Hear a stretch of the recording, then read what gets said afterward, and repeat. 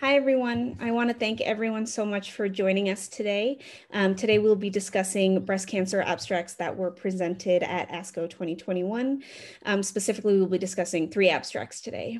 Um, I want to start us off by introducing our wonderful panel that we have with us today. Um, our moderator is Dr. Kevin Knopf, who is the Chief of Hematology Oncology at Highland Hospital and also an Assistant Professor of Clinical Medicine at UCSF.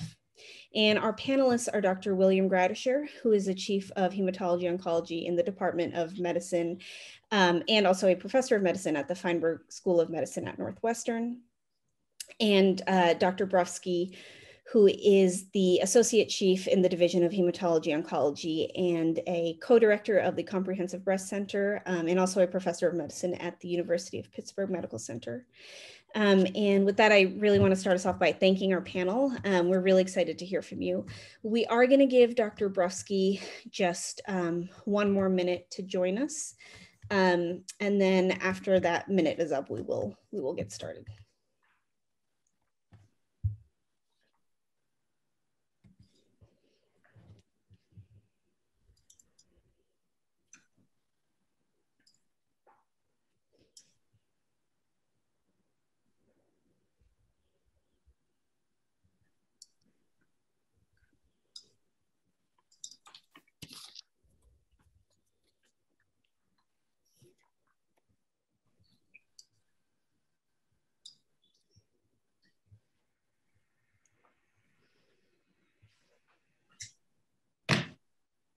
Adam always takes an extremely long time with his makeup. and then there's there's that damn glass he's always filling up. So I don't know which of those two things accounts for his delay, but it's one of the two. That's very funny.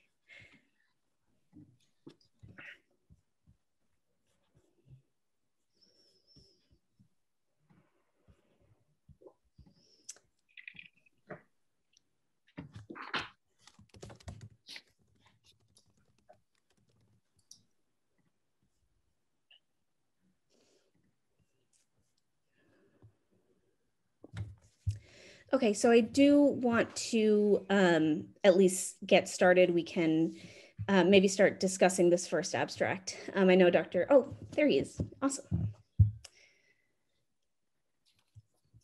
Hello. Hi. Hi, Dr. Brufsky. How are you doing? Great. Hey, um, so we are... I don't see you guys. Wait, why don't I see you guys? Hmm. Where's my uh, view options? There we go. Okay. Hold on one second. Let me just grab a uh, more water. And it's not yeah. vodka. Yeah, yeah, yeah, yeah. It's not vodka. and you know something? And look, I'm wearing shorts just like I did on Wednesday on uh, Saturday. Okay, I don't I don't need to know all that. Yeah, okay, hold on. Neither neither does the audience. Okay, we'll, we'll give him just uh, another minute to get settled. And then uh, Dr. Knopf, I'll, I'll hand the reins over to you. You're right about the water. Yeah. It's usually a red plastic glass, which is always suspect. Okay.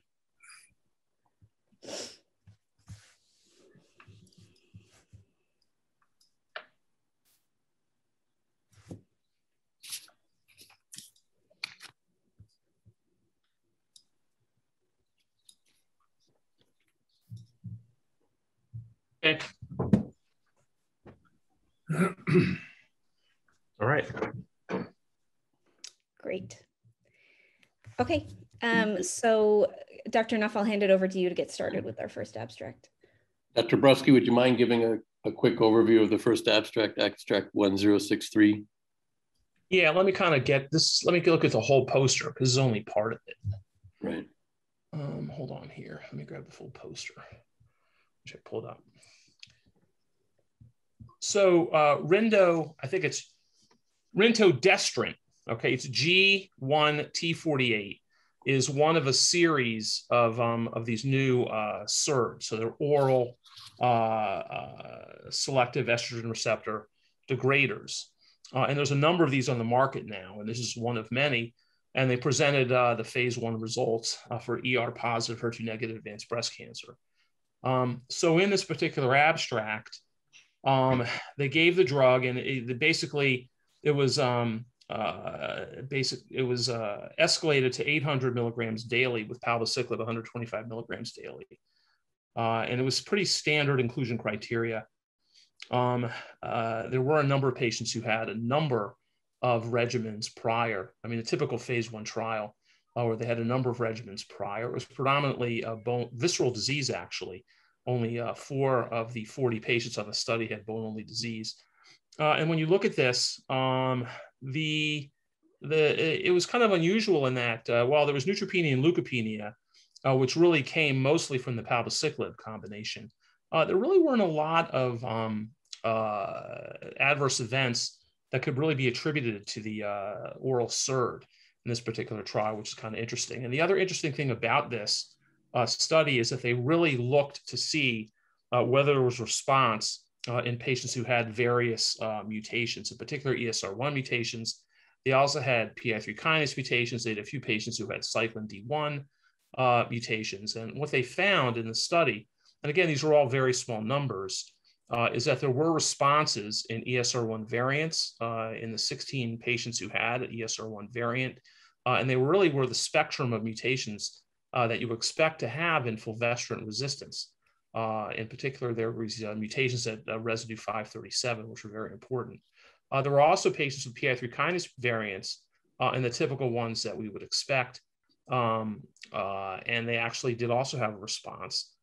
in the cyclin mutations, there were only three patients who had a cyclin D1, either mutation or, or um, and in this patient, one of the three responded. I don't know what to make of that. so it's kind of interesting. This is kind of an interesting abstract uh, in that um, there didn't seem to be a lot of uh, SERD specific side effects like bradycardia. Uh, there was a little bit of nausea, but a lot of these drugs have some nausea associated with them. And the second thing is that I think is one of the first ones that really, I mean, all of these kind of, at least in animal models and cell line models, um, appear to uh, have activity with the ESR1 mutation. Uh, this is really one that was clinically, that showed clinically uh, that it apparently had activity. Not in a huge number of patients, about 16 or 14, whatever, uh, but it still had activity. So I found those are the two uh, interesting parts of this particular abstract. So what, what do you think of, of this drug and the SERD class in general? What are you thinking in terms of where you might use them when they're available and, and in what type of patients? Well, it's interesting. I mean, I think all these drugs are being positioned uh, as alternatives to fulvestrant uh, both as first line therapy as well as second line therapy. Uh, and again, there's a number of combinations with these agents, um, uh, you know, both with PI3 kinase inhibitors as well as CDK4/6 inhibitors uh, and other drugs. And there's also, um, you know, a lot of interest, and there's actually a trial, NSABP-B61, uh, that's going to actually use these drugs in the adjuvant setting versus aromatase inhibitors. I will add a note of caution. Uh, there was a trial uh, called Parsifal that was, I think, presented either, I think it was last year's ASCO. Uh, I'm not, or, or, last year's San Antonio, I forget which one.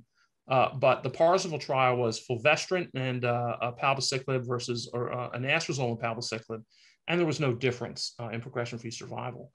so the hope is that because these drugs, unlike palbociclib, actually induce responses in ESR mutant cancer, uh, that is hopefully will have a better result than the Parsifal trial. And so mm-hmm. that's another caution that we have to have with these. And so that's kind of where this will go, the whole class. Which one will come out the winner or multiple winners and which one will be optimal? I don't think anybody knows at this point. I think the one thing we do know is that these drugs do have more, at least this one doesn't, apparently. Um, uh, but other ones uh, had uh, side effects uh, that went over and above uh, what we typically expect with fulvestrant. So, you know, hopefully these are going to have increased costs versus fulvestrant, which is generic right now in the United States. Uh, and the other thing I think that's important is that these have more side effects. So they better have more efficacy if they're really going to displace fulvestrant. That's sure. my view on this. Dr. Gradishar, any comments? Yeah, I mean, it's a race to the finish line with all of these, and they're they're being developed in sort of a, a non non-traditional way in a sense because they're leapfrogging over the usual way we uh, develop drugs. You know, it's sort of an impatient way of going about it, but strategically it makes sense. And as Adam said, you know, there were four or five of these drugs in some fashion that either at posters or presentations at ASCO this year and they all have, you know, sort of the same number of patients. They all seem to work in ESR mutations to some degree. Uh, they all have perhaps some distinct possible side effect, whether it's ocular, whether it's bradycardia, whatever. So the other thing that they're doing is they're combining, you know, they're not just getting the phase two single agent efficacy data, they're going right to the combination, uh, you know, trying to leapfrog in their position in how we use these drugs ultimately, you know, in, in the clinic. You know, they're trying to move up right into the first line right from the get go. So it's sort of an interesting battle here, and this will be the SERD wars. We've had the taxane wars, the CDK4/6 wars.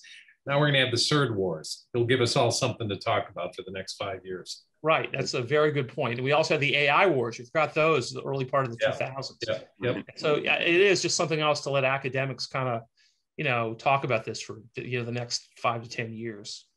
Yeah, wars seem like a distant memory. Um, Dr. Gradishar, can you introduce the second abstract, abstract 1068, real world clinical outcomes on alpelisib? Yeah, so the, my takeaway from this is obviously based on SOLAR 1, alpelisib was approved. And when the, the drug was being developed in the SOLAR 1 trial, the entry pathway was, you know, at least for those who had a PI3 kinase mutation, uh, that you had to have one of I guess it was like 11 mutations in one of the three exons that were being evaluated. And as people know, the addition of alpelisib enhanced clinical endpoints in those patients with PI3 kinase mutations. And one can you know, argue about uh, the tolerability in some patients, but the efficacy data was pretty clear. Now, the other issue is that as people started using different platforms to assess PI3 kinase mutations, there's a broader spectrum of mutations that can be identified. And I think that's really what this is, this poster, this presentation was really meant to look at. And that is whether or not those other things, uh, those other, I'm sorry, those other mutations identify patients who may benefit from alpelisib. And in fact, in some patients, there's more than one mutation present. And my takeaway from looking at this were a couple of things. One is uh, not directly germane, but is that whether you're looking at it by a tissue or liquid biopsy, you can probably get similar information. There's pretty good concordance. And the second thing is, although there's a lot of other uh, so-called non-solar mutations that you can identify, it's sort of uh, case report responses. I mean, I don't know that we have enough data yet, uh, in my mind, looking at this. Maybe others have a different opinion that we can say that, you know, if you have one of the other mutations, that you're definitely going to respond or not respond. It's just sort of a spectrum of things that you could see. So I think that really reflects the title, Real World. You're going to see a lot of different things, identify other things, uh, whether that'll turn out to be important drivers, uh, you know, of this pathway or not. It, it, it, I'm not sure this data set makes that clear to me anyway. Sure.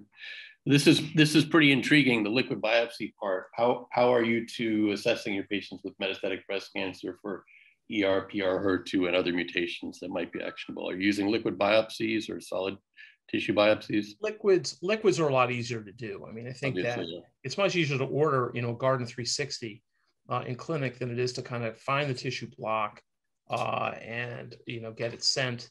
Uh, it's just a lot easier to order. I mean, you know, sure there are fewer mutations, but I think the the the liquid biopsy getting more sophisticated. You know, we're now starting to look at you know deletions and trying to do RNA-seq on the liquid biopsy. So we're getting closer. Um, this is an interesting study because you know the, the issue really becomes you know the the the I guess it's called the, the they have I forgot the exact name of it, but there is a you know a, for solar there is a specific a mutation specific uh, test that you do on the blood in ctDNA that will miss a lot of these mutations. Mm-hmm. So it suggests that you need to do something a little bit uh, more comprehensive to pick up some of these mutations. And, and, a few of them, as you know, looking at the table that you have here, uh, actually had responses. I think um, there was one there. Uh, I'm just looking over the table. I forgot which one it was. I think it was the G1049R, you know, and there was another one that was uh, the N345K uh, that wouldn't have been picked up uh, with the companion diagnostic. So you know, this suggests that maybe we need to think about um, using uh, ctDNA. I mean, again, it's easier. And the, the, theoretical reason is that if you just do one tumor, you right. know, how do you know that mutations in the other tumors? We know from autopsy studies that that's not the case. Right. And so I look at ctDNA as like averaging across the entire spectrum of mutations, even though that's probably not true. You know, you probably miss certain, maybe a tumor in the liver doesn't secrete the DNA or secrete cells into the blood and you're going to miss a mutation. So, you know, there's a lot of concordance, you know, between mutations, uh, even though, you know, this, uh, I gave you a theoretical concern. Right. Are you, are you both comfortable using liquid biopsy in breast cancer? Because in lung cancer, it's not sensitive enough to pick up actionable mutations. Yeah, well, I think as Adam um, suggested, it, it's certainly easier um, and we still have relatively few actionable mutations that we have therapies that we can utilize, um, you know, drugs that are available. So right. I think for what we do have available in the mutations which we can act upon, it's been pretty good. Yeah, where I think this is going, uh, and I'm not sure it's going to be as easy to do on, on liquid biopsy, uh, is where you're going to get is you're going to get a comprehensive, you're going to get RNA-seq, you know, which is uh, all you get RNA expression, which is part of RNA-seq to a degree. You know, you're going to get mutations out of RNA-seq. You're going to get amplifications, deletions, you know, either out of the DNA or other ways, probably from the RNA, you know, using various algorithms. And what you're going to do at the next level is you can do what's called pathway analysis. We're doing anyway in the lab. And so you're going to do pathway analysis clinically. And it's going to say, okay, this particular pathway, based on all the spectrum mutations, is maybe one that's a driver in this tumor. And maybe, you know, if it's like the mTOR PI3 kinase pathway, you'll have a, a, broad variety of agents you could use to uh, kind of um, treat it. I mean, that's probably the next five to 10 years where I think this is going to go as we get more sophisticated. But there are already, you know, companies that are doing whole exome sequencing uh, as well as RNA-seq and trying, and actually one of them, I think Caris at this point has a clinical, has a CLIA validated um, whole exome. Now, again, as Bill said, at this point in time, we have no idea what to do with the vast majority of data that comes out. But I suspect within the next five to 10 years, we're going to be able to do stuff with it. Sure. And what line of therapy would you be looking for this actionable mutation? It really depends. I mean, I think that uh, we had, I think, a discussion at the ASCO metastatic breast cancer session a few days ago about that very question. Uh, you know, when they were finding out that there are particular mutations, you know, that even affect the first line therapy for somebody. And so, you know, we raised the question, even though it was a theoretical one, everybody agreed that the, you know, the discussants agreed that there was really at this point no reason to do it in the first line. I think a lot of us, at least for me in the ER positive, we do it everybody first line triple negative. I don't know about Bill. We do it everybody yeah. first line triple negative. And I particularly do it when there's the inklings of someone starting to progress uh, after the first line therapy. You know, you can be on first line therapy for two to three years, if not longer you know, you kind of get that sense maybe a new bone metastasis comes up, you don't quite want to change treatment, or someone who does tumor markers, they start to rise. You know, those are the sort of times I would think about doing uh, next gen in the ER positive patient. And that's when it becomes even more appealing to have liquid biopsies in that situation instead of rooting around into somebody's bone. Right, right. Yeah. Okay, great. Uh, the third abstract, third and last abstract, Dr. Brufsky, can you introduce? It's a nice analysis. Yeah, so this is interesting. So these guys from the FDA used all the data they had from the approvals a couple years ago, and I forget what this was. I think at San Antonio about three or four years ago. They looked at PFS uh, and looked at toxicity, and it was really interesting. In the prior one, they looked at they said women over 75 may have had a little bit more toxicity, but on the other hand, they had the same efficacy. That was very useful for people. So this is now kind of one of these follow-up analyses where there's now overall survival data on most of the second line trials. These are not first line trials, although again right. at the at the at the session um, at the metastatic session a few days ago, Dennis Slamon did present data uh, at least the fulvestrant part of I believe it was MONALEESA two or something like that. Um, and so they presented data and showed the benefit in the first line, but most of these were second line trials. And what they did is they looked at all the various subgroups and tried to look at the OS differences. And you know, really just about across every subgroup, there was an OS benefit. Uh, that was a, really the thing I got out of this. You can see from uh, this particular uh, uh, abstract. I think that they had one area where it looked like Asian patients uh, didn't benefit uh, as well, and women under 40 Uh, the women under 40, there were just too few patients, I think. If you see here, it's like 89. Uh. And I just don't think that's enough to make any comment on one way or the other. But the Asian patients, for some reason, there was a substantial number actually um, of these patients. Uh, and I think that uh, it's interesting that the hazard ratios were basically one. It was 0.95 with a, with with the confidence intervals crossing one. But it, it's, it's a really interesting piece of data. I mean, you know, it's all retrospective in a way. Um, and so it's hard to really, I mean, I think it's more hypothesis generating uh, than really, you know, something that we would use clinically. But I think it is gratifying uh, to note that you do have an OS benefit just about every, across almost every subgroup. That's what I really took away from this. And I, I, I would echo that. I mean, it, you get into these small subsets, hard to say anything.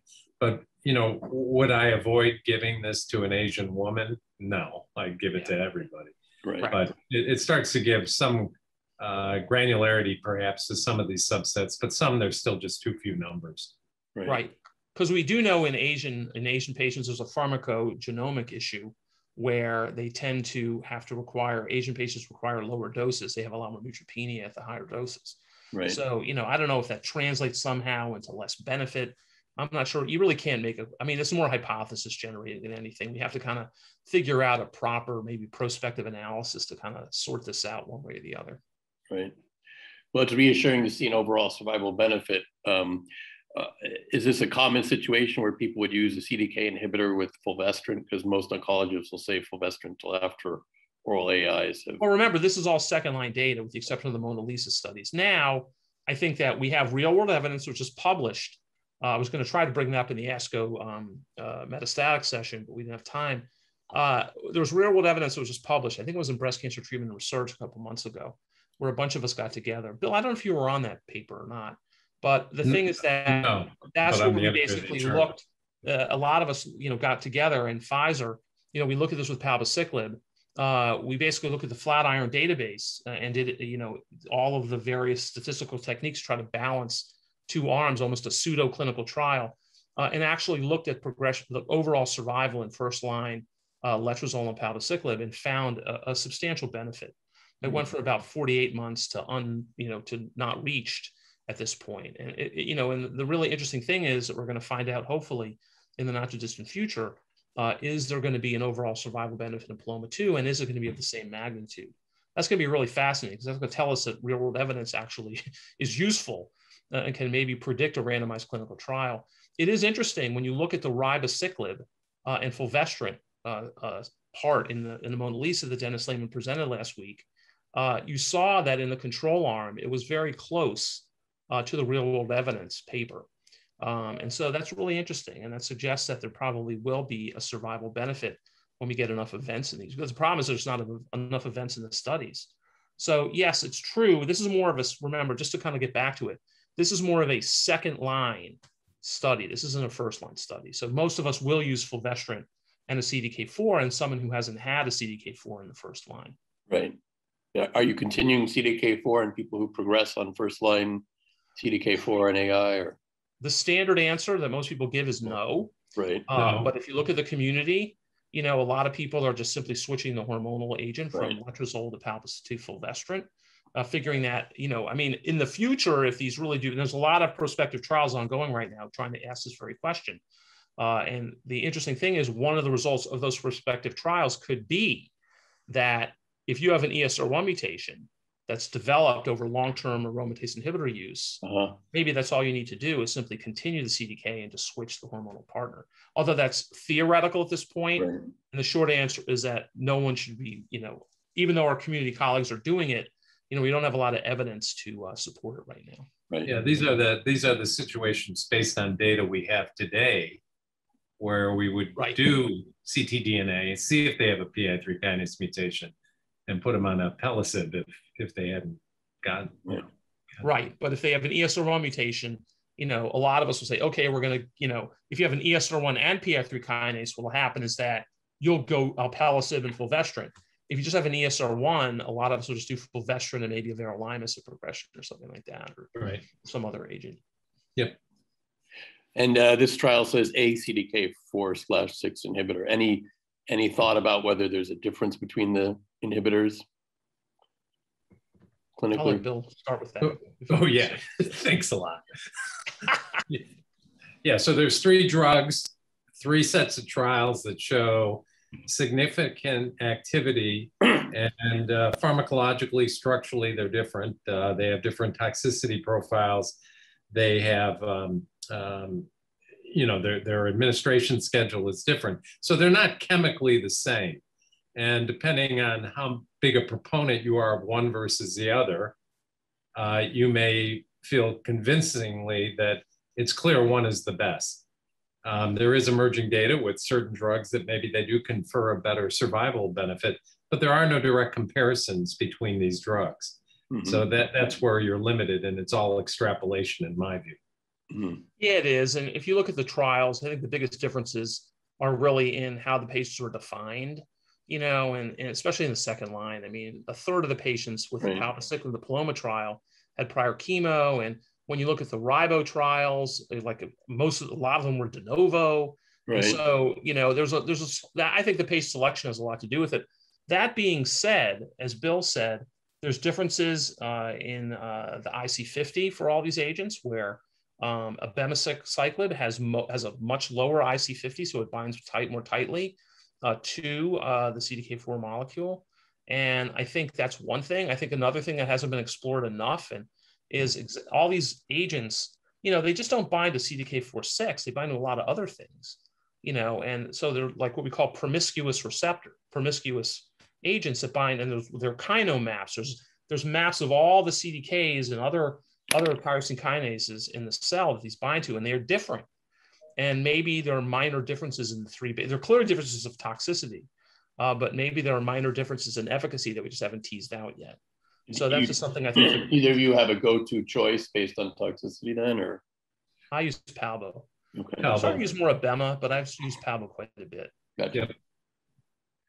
All right. Uh, thank you so much for taking the time to speak with us today. Um, Kishna, do you have any parting parting thoughts?